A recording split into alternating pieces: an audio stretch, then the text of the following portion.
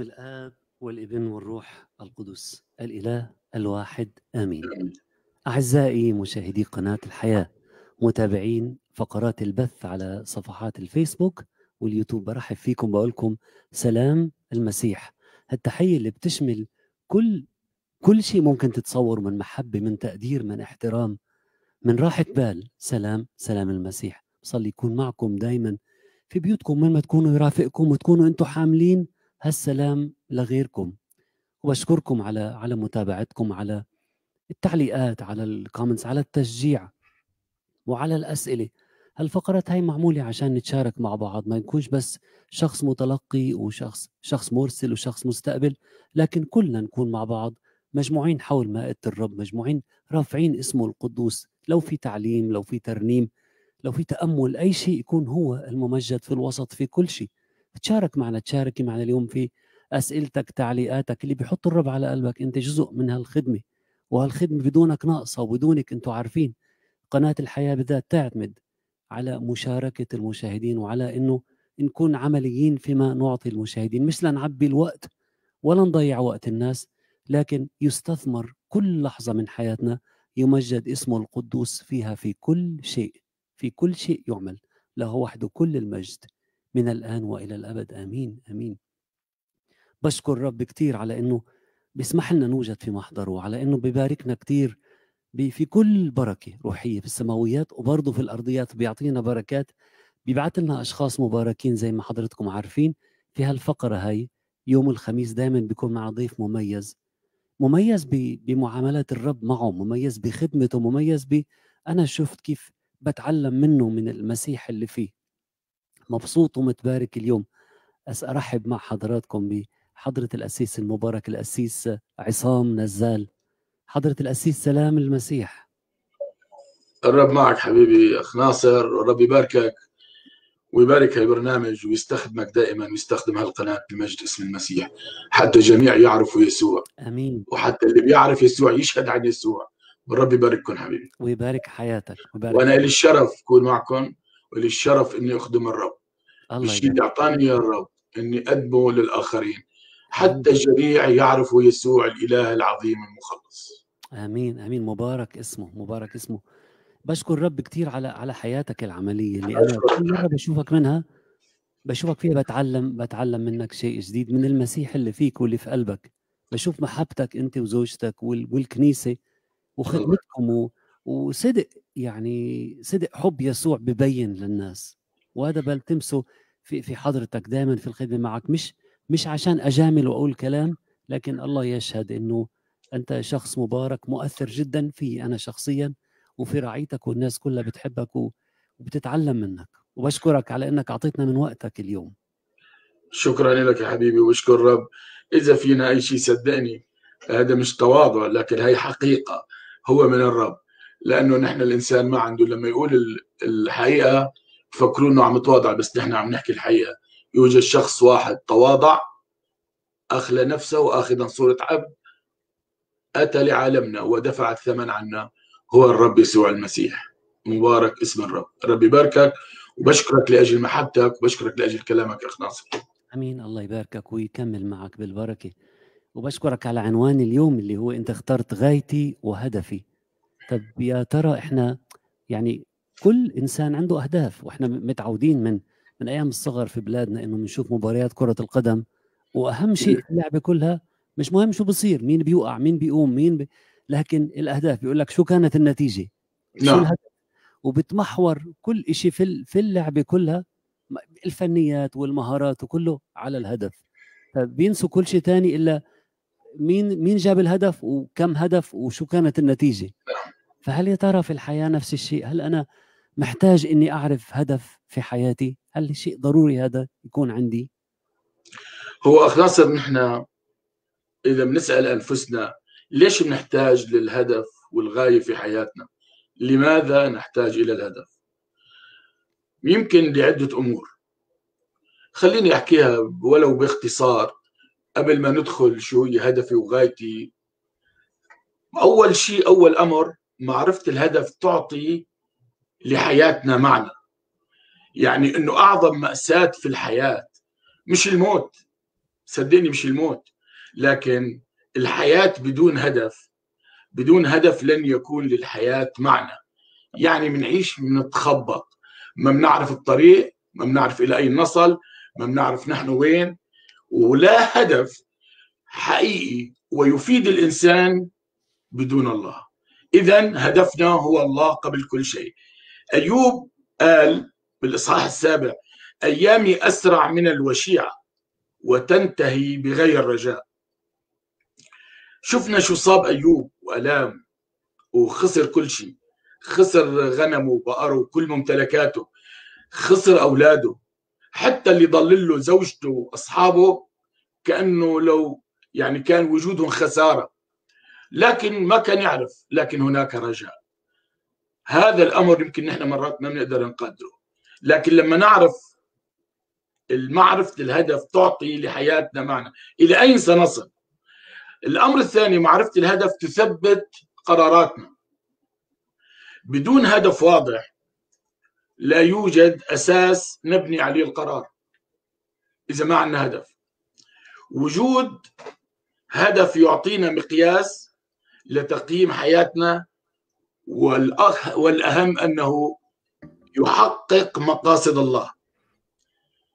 الحياة بهدف تقود لأسلوب أكثر بساطة وجدول مواعيد أكثر تعقلا.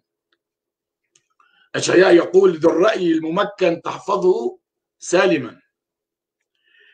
معرفة الهدف أيضا رقم ثلاثة تجعل حياتنا أكثر تركيزا وتأثيرا. والتركيز يعطينا أن نكون أكثر تأثير. لا يوجد شيء بمثل فعالية الحياة المركزة التي تعاش لهدف. نركز بهدف منعيش ونوصل وبيكون واضح هدفنا لأنفسنا أولا للآخرين. الرسول بولس كان سره يكمن في خدمته في الحياة المركزة. قال أنا نسيت كل شيء. بيقول بفيليب ثلاثة أفعل شيئا واحدا. إذ أنا أنسى ما هو وراء وأمتد إلى ما هو قدام. أسعى نحو الغرض لأجل جعالة دعوة الله العليا في المسيح يسوع. نسيت كل شيء. صار عندي هدف واضح لأنه اسمه هدف. لأنه أعرف به أين أصل وماذا يجب أن أعمل.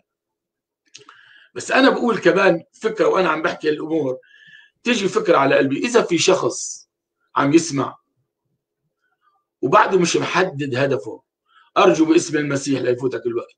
بعد في مجال. حدد هدفك. تعال وأعرف الهدف الصحيحي الذي يفيدك مش ليوم ويومين وسنة وسنتين إلى الأبد. وأيضا رقم أربعة معرفة الهدف تحفز حياتنا. يعني الهدف بيخلي في عنا ينتج شغف بمدنا بالطاقة والعمل الخالي من الهدف أي عمل يخلو من الهدف يستنفذ قوتنا ويسرق فرحنا. يعني أي عمل بتروح عليه وأنت منك مبسوط ياما في ناس أشخاص بيروحوا العمل عملهم اليومي ومش مبسوطين بهالشركة أو بالشغل بيروح كأنه مش فرحان بيروح كأنه تعيس كأنه متضايق. لكن لما أعرف هدفي وعملي وفكرتي أنا إلى أين سأصل بيكون عندي فرح وقوة. نحن بصراحة بقولها نحن لم نوضع على الأرض لفترة حتى فيما بعد يتذكرنا أحد أو يتذكرنا الناس. لكن وضعنا لنتأهل إلى الأبدية. مثل ما قلت حضرتك أخ ناصر. هلأ بيعملوا مباريات بيتدربوا بيلعبوا رياضة بياكلوا أكل صحي وبيصنعوا لكي يصلوا إلى الهدف والهدف أنه يربحوا ويكون الكأس بإيدهم. الجامعة قال الإصحاح الثالث جعل الأبدية في قلبهم. يعني إحنا خلقنا مش ليوم ويومين لنعيش للأبد. العيش بكل وضوح بقولها لتحقيق ميراث أرضي هدف. لكنه قصير المدى وباهت. ما له طعمة. لأنه بده ينتهي مع السنين. سنة سنتين. 100 سنة بده ينتهي. لكن الاستخدام للوقت لوقتي على هذه الأرض بكل حكمة هو بناء ميراث أبدي. لأنني سأكون مع الله إلى الأبد. نحن خلقنا من الله. ولأجل الله والحياة بدون الله لا معنى لها. أنا لإلي ولإلك ولكل من يؤمن لكن أنا أخبر جميع الناس لا معنى لها إن لم تعرف حياتك من خلال الله إلى أين ستصل. وشو هي النهاية؟ نحن خلقنا لنعيش إلى الأبد. الإنسان سقط وعندما سقط طرد. لكن الله لأنه خلقه ليعيش الابد هيأ له حل. والحل بأن الرب يسوع المسيح أتى وتجسد. وذهب إلى الصليب. مات وقام. على فكرة بس أنا بحب أقول هذا الموضوع أنه لو الرب يسوع المسيح وهو إله عظيم لو لم يذهب إلى الصليب لم يخلص أحد. لكنه في ذهابه إلى الصليب وكالله ارضى العدل الإلهي بأنه دفع الثمن. وعن الإنسان كإنسان ناب عن الإنسان وأعطى الله حقه لأن الله مثل ما هو عنده رحمة مثل ما هو عنده محبة هو عنده عدل. وفي كل شيء مية في المية عدله ومحبته ورحمة ورحمته.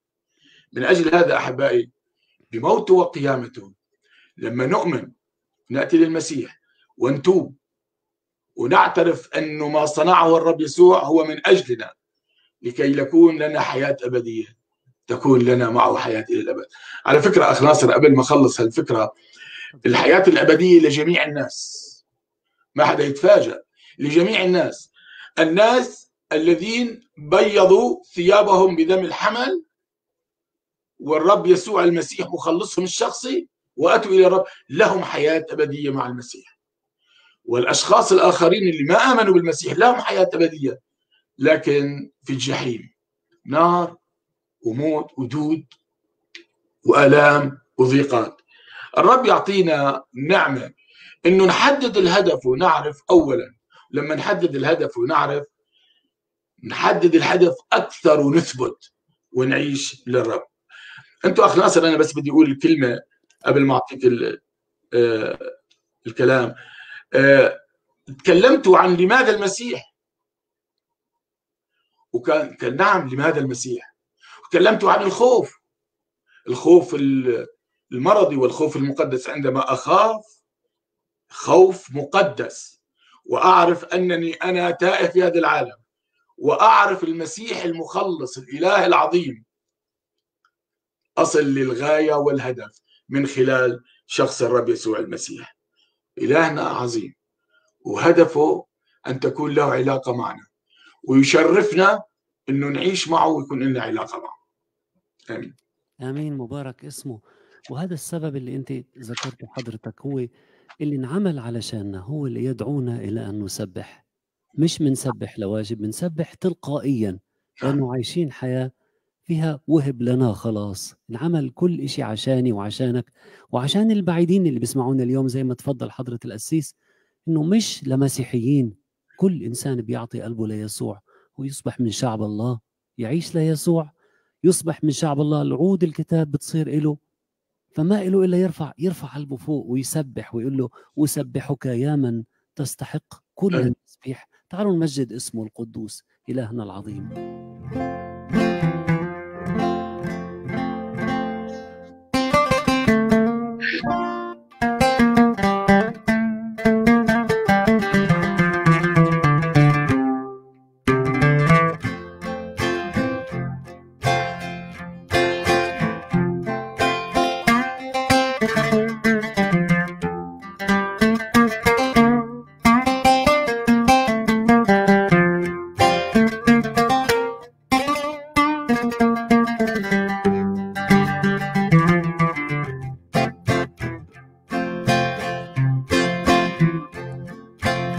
أسبحك يا من تستحق كل التسبيح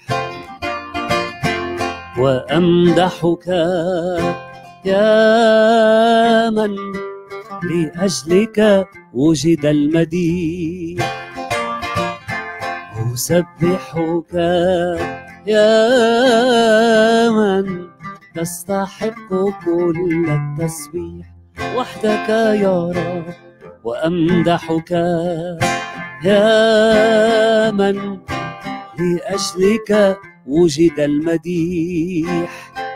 وتسبح السماوات الأرض والكائنات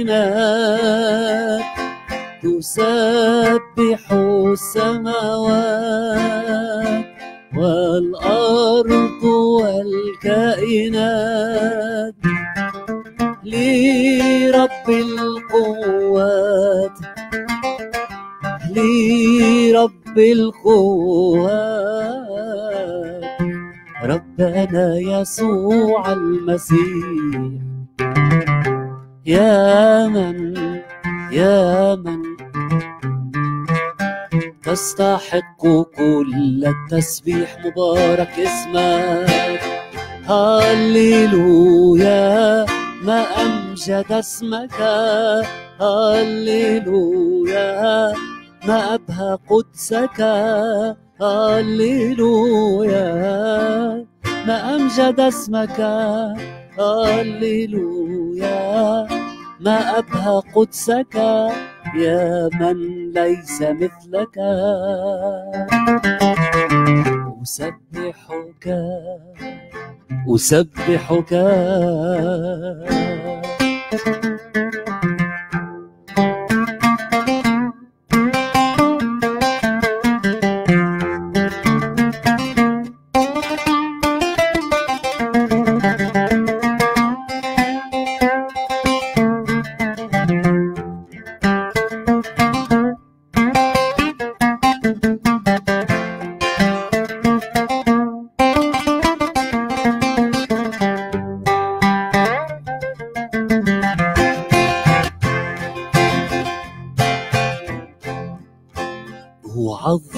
أعظمك يا من؟ وحدك تكمل الكمال. وأرفع اسمك يا من؟ أبرع من البشر جمال. أعظمك أعظمك يا من؟ وحدك تكمل الكمال أرفع اسمك يا من أبرع من البشر جمال.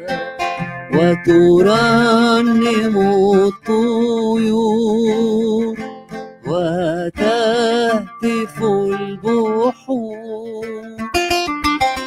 ترنم الطيور وتهتف البحور لصخر الدور لصخر الدور تنشد لرب الجلال يا من يا من؟ وحدك تكمل الكمال. هللويا ما أمجد اسمك هللويا ما أبهى قدسك. هللويا ما أمجد اسمك.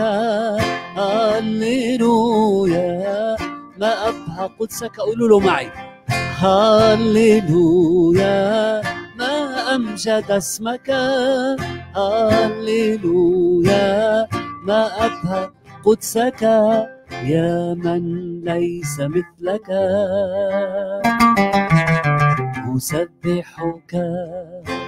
أسبحك. أسبحك.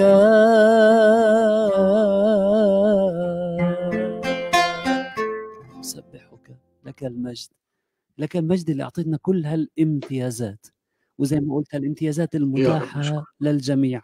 أشكرك وأعظم اسمك وأسبحك من الآن وإلى الأبد. آمين. طيب حضرة الأسيس هل في أهداف خاصة للمؤمن؟ ولا ولا إحنا زينا زي العالم؟ أهداف خاصة وعظيمة وسامية جدا. ولحتى نخدم الرب لازم نتمتع فيها. الهدف السامي الأول أجمل هدف وأعظم هدف بعد أن نعرف الرب. غايتي وهدفي عبادة الله وأن أعبد الله يعني أن أحب الله من كل قلبي. وأحب ذلك الذي أظهر حبه ونحن بعد خطاة مات المسيح لأجلنا. وهو الذي أحبنا أولا وفضلا يعني لا نحب. ما كان عندنا بالرغم من أننا لا نحب. كنا نقول نحن الذين عوجنا المستقيم كنا نقول ابعد عنا بمعرفة طرقك لا نسر لا نريدك لكن حبه العظيم جعله على الصليب يفتح يديه ويقول تعالوا إلي. يا جميع المتعبين والثقلي الأحمال وأنا أريحكم. نحن نرفض ونحن أصحاب الخطأ. وهو يموت من أجلنا وهو الذي لم يصنع لم يفعل خطية ولم يوجد في فمه مكر على الصليب. نادانا وقالنا الثمن دفع تعالوا إلي فتكون لكم حياة. يعني لما نتأمل أخ ناصر بأنه هذا الإله العظيم نكس رأسه ليرفع رؤوسنا احتمل الخطية والعار ذبيحة عار اللي بيموت على الصليب.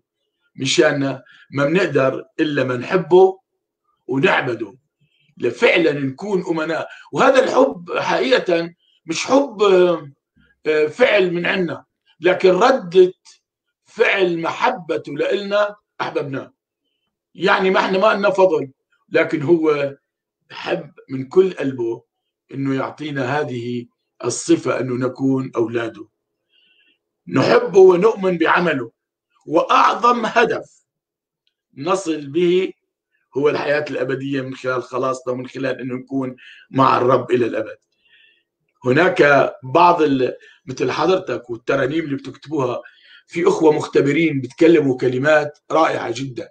المختبر قال لما شاف محبة المسيح العظيمة قال لو صار حبرا كل يم وورقا كل الفلك وكل نبتة قلم والكل بالوصف اشترك.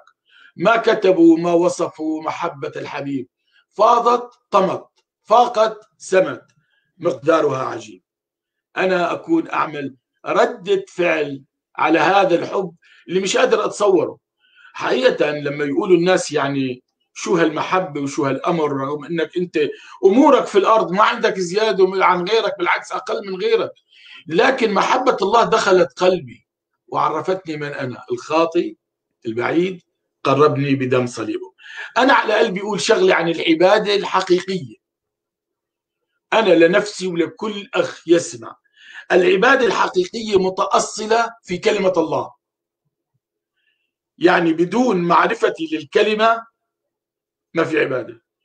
والصلاة الدائمة والشكر والسجود بتكون عبادتي ناقصة. بدي أعرف كلمة الله وأصلي الكلمة. وأعيش من خلال هذه الكلمة لأستطيع عندما أشهد أشهد بالكلمة. مش شهادة الكلام من عندي. لما نشوف رجال كثيرين كبار في حياة الإيمان بيتكلموا وبيقوموا شباب صغار بيتكلموا لكن الكلمة إن كانت من كبير أو صغير هي كلمة الله. مشان هيك بنحكي بجرأة بنقول هو صاحب الكلمة. قلب العبادة قلب العبادة هو الخضوع لله. وبالخضوع نكون نطيع الله. وبالخضوع والعبادة نصل إلى قلب الله. أنا بس على قلبي كمان مرات أقول إنه في أمور بحياتنا بنقول معلش هاي بنسمح لأنفسنا. لا لا لا لا. حياتي كإنسان كاملة يجب أن تكون للرب. والله لا يريد غير كل شيء له لأنه أعطانا كل شيء. بإنجيل مرقس بيقول تحب الرب إلهك من كل قلبك ومن كل نفسك ومن كل فكرك ومن كل قدرتك. هذه هي الوصية الأولى. إذا أنا بدي أحب الرب من قلبي وأقول له معلش يا رب مشاعري مش معك أو فكري مش معك هذه مش طاعة. هذه طاعة جزئية. وبكل وضوح الطاعة الجزئية هي عصيان كامل. عصيان للرب ولطاعته. لكنه الذي قدم نفسه ومات من أجلنا. ألا يستحق أن نعبده من كل القلب؟ إشباع قلب الله يسمى عبادة. أنني أشبع قلب الله في أنني أكون حسب فكر الله. هذه عبادة. والشيء اللي بحب أقوله العبادة ليست جزء من حياتي. العبادة هي كل حياتي. إذا أول غاية وهدف في حياتي أن أعبد الله وأن أحب الله وأعيش على هذه المحبة. نكون يا رب كل شيء عنا إلك لأنه هو منك. على فكرة اللي عندنا نحن إذا بنستخدمه بذواتنا بندمره في دمار لكن عندما نستخدمه في إرادة الله وفي محبة الله يثمر. صدقني. وبيعطينا قيمة طبعا في عيني الله أولا وفي عين الناس. حتى الذين لا يحترمون يقدرون رغم أنهم لا يحترمون الكلمة. لكن علينا أن نكون إيمانا في محبتنا وطاعتنا وعبادتنا للرب من خلال كلمة الرب خلال صلواتنا وأنه نعيش للرب بكل أمانة. آمين حضرة القسيس شوف إحنا في مفاهيمنا المحدودة يعني لما نحكي على علاقة حب إنسانية يعني ما بقدرش أقول لك يا حضرة القسيس أنا بحبك لكن كل إشي بعمله ضد ما أنت بتحب. ف يعني بصير بعد مرة على مرة مرة على مرة بصير تسمعني وتقول آه سمعتها من قبل وبصير مجرد كلام. يا رب ما تسمح تكون آه، عبادتنا نعم. لك بهالطريقه نعم. قومنا وصلحنا هلأ. وإحنا وإحنا لسه فينا النفس يا سيد إنه إنه محبتك يعني تبعيتك وبقول لك أحبك ربي يسوع أتبعك ربي دوما. نعم. يعني كلمات بسيطة في ترنيمة. تعالوا نرنمها مع بعض لكن وإنت بترنمها من فضلك من فضلك نسأل نفسنا يا ترى هل أنا فعلا بحبه المقياس تبعيتي زي ما سمعنا للكلمة؟ لما أوصانا لمحبته إلنا رد فعلي أنا شو بعمل؟ برد برد المعروف بال- بال- بالحسنة ولا ولا بدير ظهري وبمشي وكأنه أنا لي الحق في كل شيء باخده؟ بالعكس يا أخوتي إحنا إحنا ما عندناش أي حق في أي شيء عنا. لكن مبارك من له كل الحق وشاركنا وأعطانا. نقول مع بعض نعلن نقول له أحبك أتبعك ربي دوما أحبك ربي يسوع.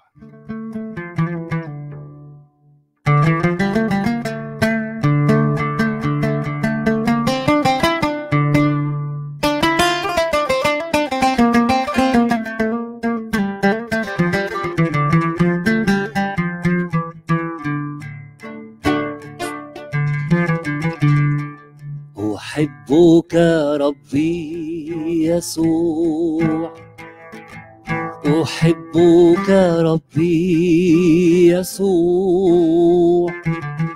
أحبك ربي يسوع. وليس لي سواك.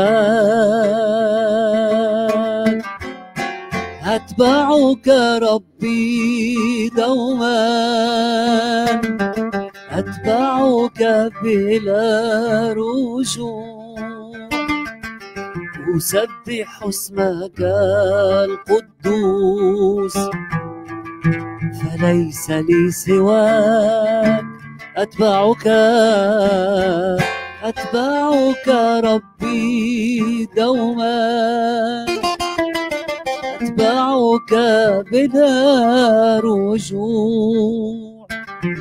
أسبح اسمك القدوس قدوس. وليس لي سواك. تعال قولها معي وصليها. إعلان محبتك وتبعيتك. أحبك ربي يسوع. أحبك ربي يسوع. أحبك ربي يسوع.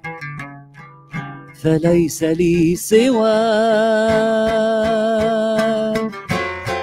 أتبعك ربي أتبعك دوما. أتبعك بلا رجوع. أسبح اسمك القدوس. فليس لي سواك أتبعك ربي دوما. أتبعك بلا رجوع. أسبح اسمك القدوس. فليس لي سواك ليس لي ليس لي سواك ليس لي ليس لي سواك. هاي اللي بتخليني أسأل حالي إنه هل فعلا أنا ليس لي سواه؟ هل فعلا هو زي ما سمعنا هو الهدف؟ إرضاء الهدف؟ محبته الهدف؟ تقديري للي عمله إلي؟ يا رب ساعدنا وعلمنا علمنا إنه فعلا نصيب الهدف في علاقتنا معك وتبعيتنا لكلمتك الحية الفعالة العاملة اللي هي مصدر إرشادنا في كل شيء في هالحياة في اسم يسوع آمين آمين بتحب احكي عن أه، بتحب تتابع. حكينا أول هدف اللي هو محبة الله عبادة الله. وهذا مثل ما تفضلت والترنيمه الرائعه إنه فعلا نحن عندما نحب الله على فكرة بس أنا بحب أرجع أقولها. عندما نحب الله نسمع ونعبده. بصير عندنا نسمع فقط كلام الله. عندما يتعارض كلام الله مع أي شخص أو أي مكان أو أي بلد أو أي ولد أو أي حياة. نحن نسمع كلام الله. لازم نسمع كلام الرب اولا. وعندما يتعارض لا نسمع نحن لا نصدق إلا كلام الله. إذا عبدنا الرب وحبيناه من كل قلبنا بصير في عندي غاية وهدف ثاني وهو أنت قلت كلمة في انه نرضيه في حياتنا. إرضاء الله هدف وغاية. لما نعبده ونحبه ونعيش ونحن مش حسب قلبه مش مرضينه. هذه ليست عبادة. العبادة الحقيقية تعطي أن الله يرضى عن حياتنا.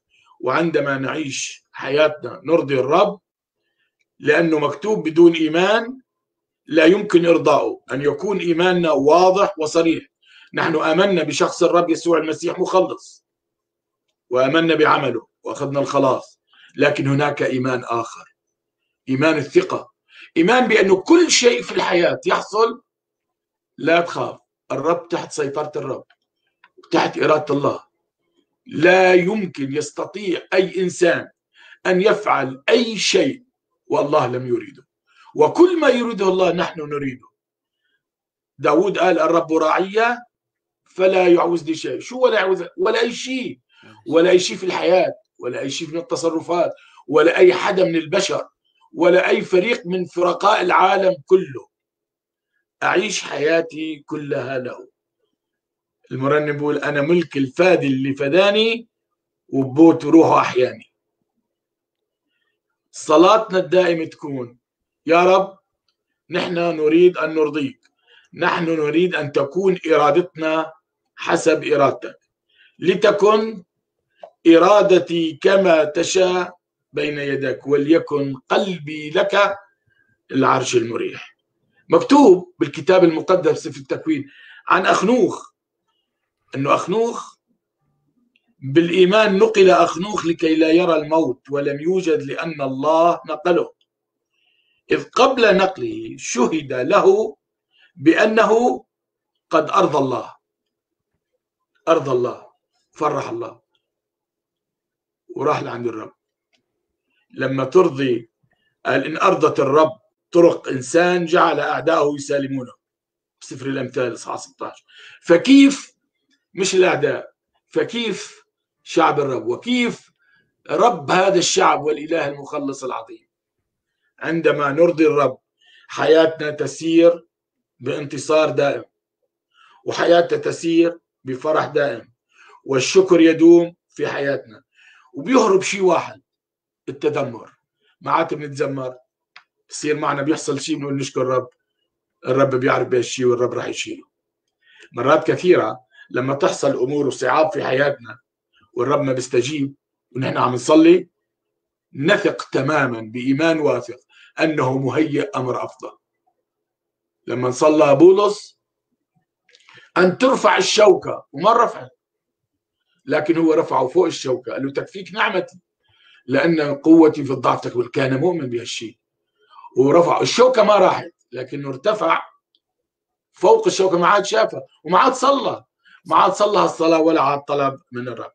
عندما نعرف الرب معرفة اختبارية واضحة تصبح غايتنا أنه نرضيه في حياتنا ونعيش له.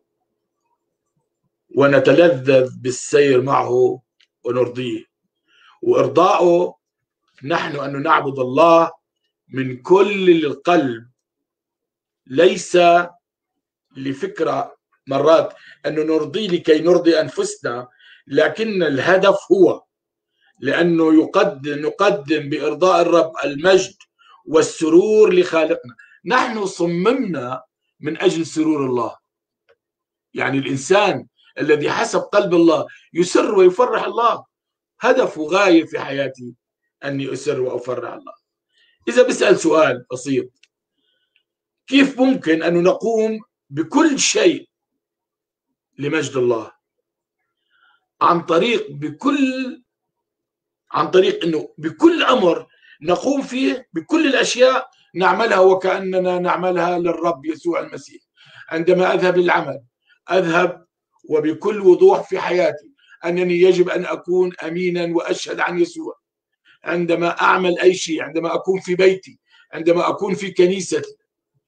أنا أرضي الله في أن أطيع الله في أن أحب الله. يجب أن يكون الشكر والتسبيح احبائي يعني هذا أمر واضح في حياتنا. الله يباركك أخ ناصر. وكل الأشخاص اللي عندهم هدف في إنه نحن نعبد الرب نسبح الرب ونعيش للرب. قبل ما أقول الكلمة بدي أقول مكتوب كل ما فعلتم فاعملوا من القلب كما للرب ليس للناس. هيك برضيه وهو لما يرضى بيخلي الكل جعل يجعل الأعداء يسالمون. فمن أجل هذا لازم تكون حياتي كلها تسبيح. يعني لما في الصبح أكون بشكر وتسبيح. أول ما أفتح عيوني. وآخر ما غمض عيوني. قبل ما أنام أكون عم بشكر وبسبح. ليش؟ لأنه عندي هدف. أنا وصلت إلى مكان الأبدية. فعندي هدف بدي أعيش الأبدية من اليوم بدي أفرح بدي أخبر. وبارك الرب في كل حين. دائما تسبيحه في فمي نلهج به ليل ونهار ليل ونهار. ما عندنا غير حديث الرب. امبارح كنا باجتماع صلاة وفي شخص كان عم بيقول فلان لما تقعد معه إذا قعدت معه ساعتين بياخذ من الساعتين تقريبا ساعتين إلى عشر دقائق يحكي عن يسوع بيسألك شي عشر دقائق ما عنده شيء بيلهج باسم المسيح. ليلا ونهارا. غايتي وهدفي يا رب. صحيح إني أحبك وأعبدك وأيضا أن أرضيك في حياتي ويتمجد اسمك أنني أكون حسب قلبك. يا رب يسوع ساعدنا ساعدنا. آمين. وما أحلى هالإله اللي بنعبده حضرة نعم. القسيس إنه في كتير ناس بيحاولوا يرضوا الله بأعمال. إنه إنه الله مش راضي علينا. عشان أوصل له لازم اعمل ولازم اعمل ولازم ويا ويلي إذا نسيت إشي ويا ويلي إذا نسيت ركعة أو نقصت شيء معين. لكن ما أروع هذا الإله العظيم المحب اللي راضي عنا في المسيح يسوع. أعطانا كل إشي. بدل ما نتعب لنوصل له هو أجل عنا. هو الطريق اللي بيوصلنا لعنده. هو طلب شيء واحد. قال أعطني قلبك. زي ما تفضلت ليكن قلبي نقي قدامه. لأعمل مرضاته أنه أنقي قلبي بس وأتبع وصيته ما, ما أجمل هذا الإله. العظيم وما ما أروعه ما أروعه صلاتي أنه الكل يعرفه البعيد والقريب لو أنت اليوم بتحاول ترضي الله في أعمال وفي طقوس حتى نقول حتى لو أنت مسيحي اسمي اعرف أنه الله راضي عليك في المسيح يسوع. لكن ما إلك إلا تعيش هذا الرضا بصدق بأنك تقدم قلبك قدامه وزي ما. تفضل حضرة الأسيس وتعيش حياة تسبيح. مش لأنه مطلوب منك لأنك تلقائيا ما إلك إلا يسوع في فمك. ما صنع عن شانك محبته إلك. ال- الممنونية اللي انعملت معي أنا بدي أعيش أشهد عنها. أقول له يا رب كل حياتي غايتها رضاك أسمع صوتك يا رب. وامشي وراك. واصحى واسهر واستناك اهديني لطريق يرضيك يا مليك. أسكن قلبي واملى كياني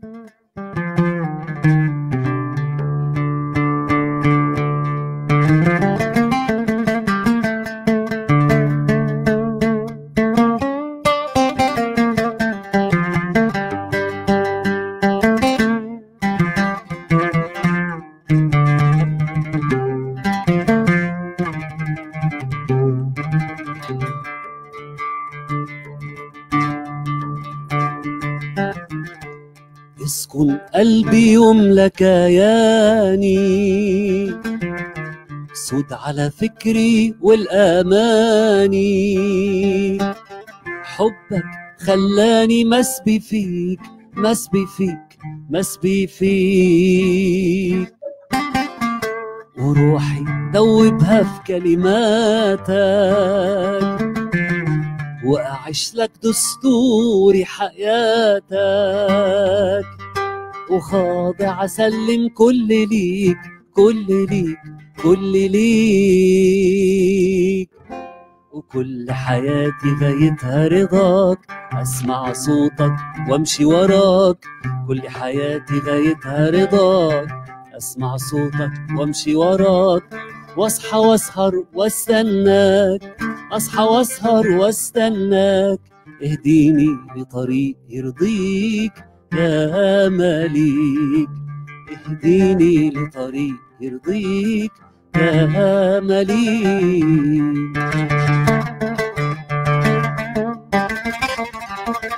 خلي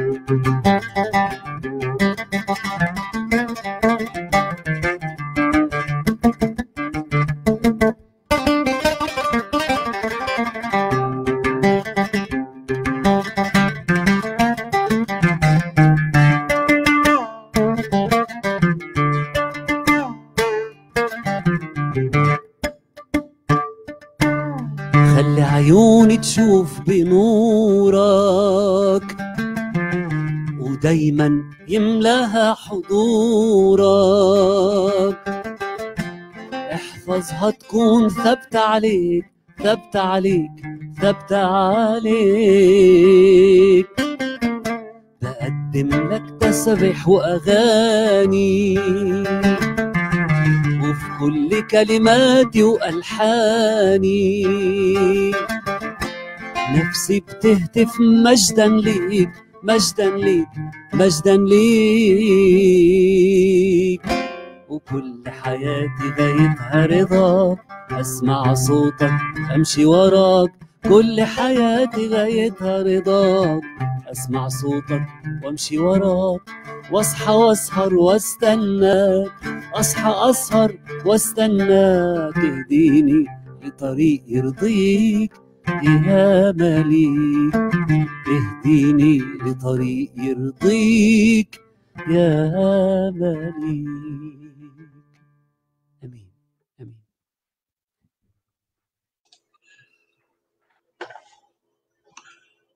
بتحب نبدأ بالهدف الثالث أخ ناصر؟ تفضل حضرة الأسيس.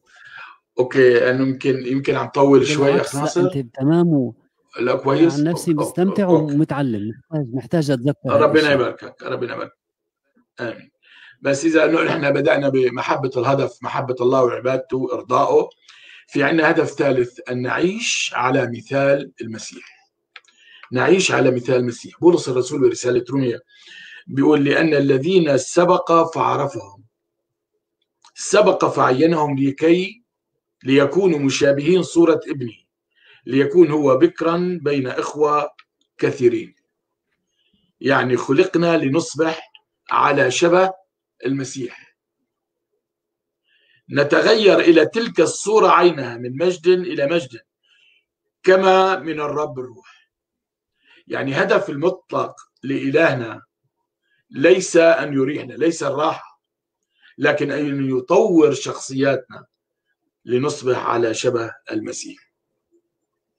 هذا يعني أمر كثير جدا مهم. يسوع هو صورة الله غير المنظور ورسم جوهره. ولما نخلع الإنسان نحن القديم ونلبس الجديد المخلوق بحسب الله في البر وقداسة الحق نحن أحبائي في فكرة بيقولوا بنصير آلهة كالله. لن نصبح مثل الله أبدا. هذه كذبة كذبها الشيطان على حواء. قال تكونان قال الشيطان لحواء تكونان كالله. الله لا يريدنا آلهة لكن يريدنا أن نصبح أتقياء نتبنى قيمه واتجاهاته وصفاته. الله لا يتوقع منا أن نكون كاملين. لكنه يصر على الأمانة الكاملة. ما في كمال لكن في أمانة نستطيع أن نكون أمناء بالكامل. وكلما نقترب من الله أكثر يزداد اهتمامنا بما يهمه. يهم الله. الحياة التي أعدها الله الحياة التي تتجدد من الداخل ويظهر طابعها في سلوكنا بينما يظهر الله شخصيته من خلالنا. يعني لما نكون على شبه المسيح تتغير كل الأمور تغير كل الكلام تغير الحياة. عندما يكون لنا فكر المسيح تصبح عندنا مشاعر المسيح. وبعدها يكون سلوكنا سلوك المسيح. هذا الشبه أنه نعمل كما يريد الله وكما يعمل الله. إرادة يسوع تكون في حياة كل واحد فينا. أنا بحب الفقرة بس أختمها بقصة بسيطة. في مرسل اجى لعالة ل افريقيا مجال أفريقيا بأول القرن العشرين. يعني 1910 15 ما كان يعرف لغتهم. لكنه عاش فيما بينهم. وفيما بعد مات ودفن. ولما انفتحت الطرق أكثر دخلوا مرسلين آخرين. وعرفوا اللغة ودخلوا معهم. وكانوا عم بيبشروهم بالمسيح الإله العظيم المخلص. قالوا لهم هذا الشخص نحن بنعرفه. قالوا كيف تعرفوا؟ قال له قبروا عنا. أخذوه على القبر. قال لهم اجوا. طلع هذا المرسل بدون لغة. كان يحيا على شبه المسيح. كان يوصل رسالة المسيح من خلال حياته. والرب يسوع المسيح مكتوب عنه كان يعمل ويعلم. عندما نعيش على شبه المسيح يرى الآخرين فينا صورة المسيح. عشان يعود المجد كل المجد لرب المجد يسوع المسيح. غايتي وهدفي أيضا أن أكون على مثال المسيح. شبه المسيح أشبه المسيح بتصرفاتي. وبمحبتي وبوداعتي وأن يكون كل شيء حسب إرادة الله له كل المجد. ترنيمة مش موجودة عندنا كلماتها لكن رح أقول بس بيت منها. وأنت بتقول يعني في ترانيم مباركة فعلا تلمس القلب اللي بتقول ربي جعلني أشبه ابنك نعم يسوع.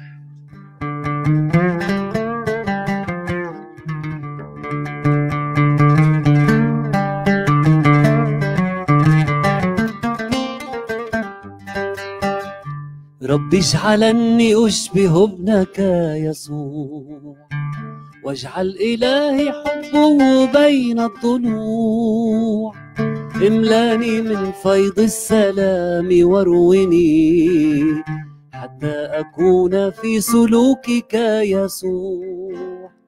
رب اجعلني رب اجعلني رب اجعلني أشبه ابنك يسوع. كمان رب اجعلني أشبه ابنك يسوع. واجعل إلهي حكمه بين الضلوع املأني من فيض السلام وارويني حتى أكون في سلوكك يسوع. رب اجعلني رب اجعلني رب اجعلني أشبه ابنك يسوع. رب اجعلني أشبه ابنك يسوع. امين اذا معلش خلينا كمان تفضل. الغاية والهدف الرائع أيضا بعد أن نعبد الله ونحبه ونرضيه ونكون على شبه المسيح.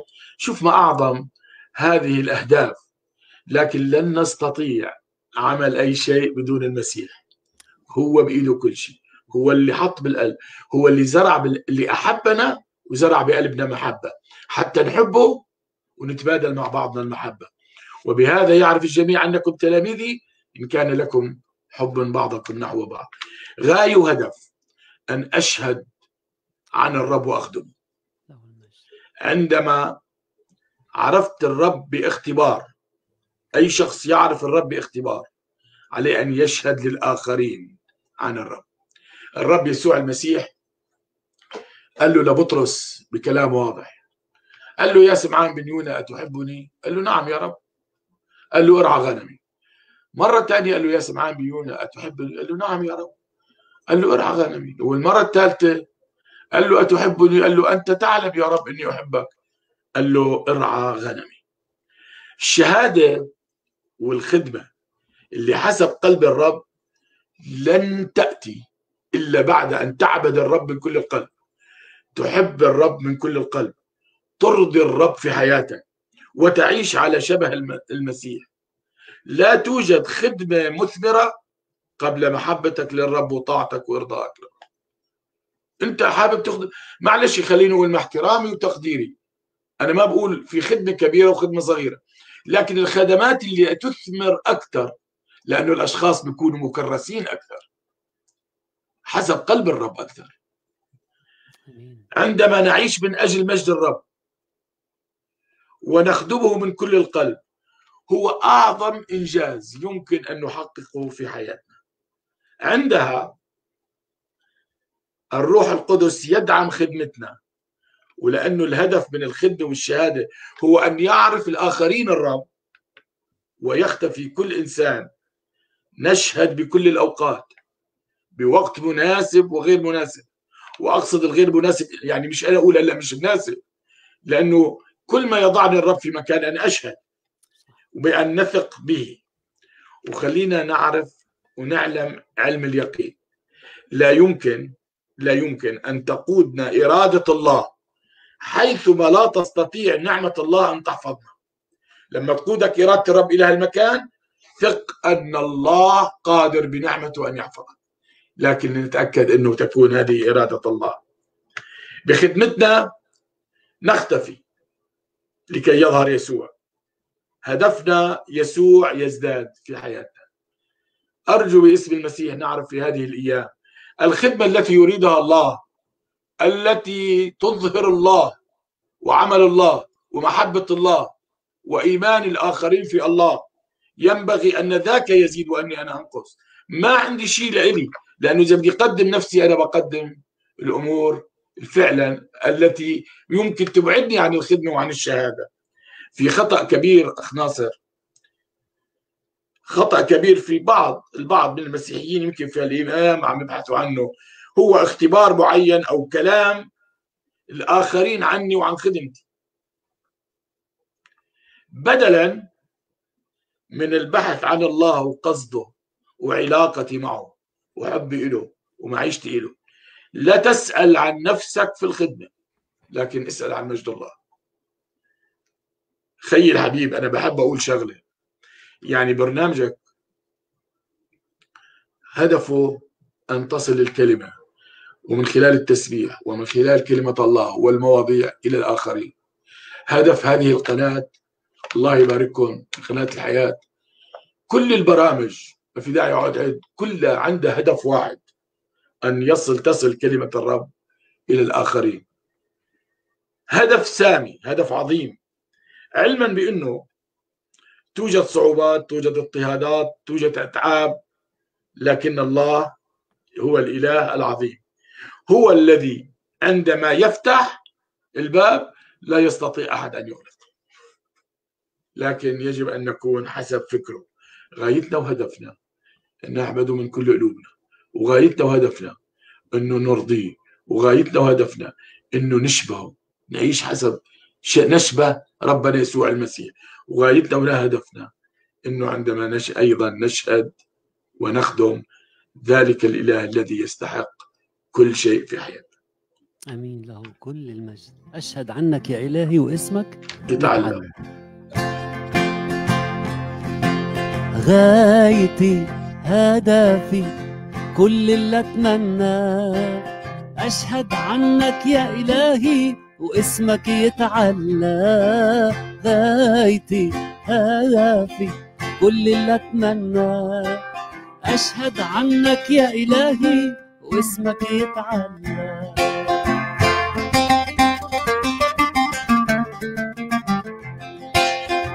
عالي فوق الكل والكل ليك خدام. لاسمك الأجل كرامة واحترام عظيم عظيم. اسمك يا الله غايتي هدفي كل اللي أتمناه. أشهد عنك يا إلهي واسمك يتعلى بارع الجمال بارع الجمال. ربي ما أبهاك متوج في الكمال والمجد في علاك. قدوس قدوس اسمك يا الله. غايتي هدفي كل اللي أتمناه. أشهد عنك يا إلهي واسمك يتعلى عادل ورحيم في كل زمان صالح وحكيم فوق فهم الإنسان. وأنا بقول لك حبيت الخطى لأسمى الحدود واخترت المصدرة وغير الموجود. مبارك مبارك اسمك يا الله. غايتي هدفي. كل اللي اتمناه أشهد عنك يا إلهي واسمك يتعلى يتعلى. آمين. حضرة الأسيس أنا بشكرك بالنيابة عني وعن المشاهدين اللي استمتعنا وتباركنا. في كلامك. الرب. يستخدمك أكثر وأكثر شكرا. وراح يكون لنا في اسم يسوع لقاءات معك جاية. إذا الرب آه. سمح وعشنا. الرب يباركك. شكرا كثير حبيبي. والرب يبارككم يبارك هالخدمة. واطلب من كل قلبي وبصلي من كل قلبي. الله يبارك كل خدمات هذه القناة. يعني مخليني مش عم بقول مجامل صدقوني مش مجاملة. لكن الله يعمل في كثير من برامجكم لمجد اسمه العظيم. مبارك اسمه القدوس. شكرا حضرة الأسيس. شكرا لك شكرا. أعزائي شكرا لوجودكم معنا شكرا لمتابعتكم. شكرا على الكومنتس شكرا على التعليقات وشكرا على الصلوات لما نتحد ونصلي مع بعض. صلاتي إنه اليوم تحدد غايتك وهدفك يكون الله والعيشه لما يرضي هذا الإله العظيم القدوس اللي أحبنا وتنازل وتواضع وأعطانا كل شيء في المسيح يسوع. باركنا في كل بركة روحية. بصلي يكون دائما مبارك حياتكم ودائما قائد حياتكم عشان تصيبوا الهدف الصح وعشان يملاكم دائما ويكون فيكم سلامه. سلام المسيح.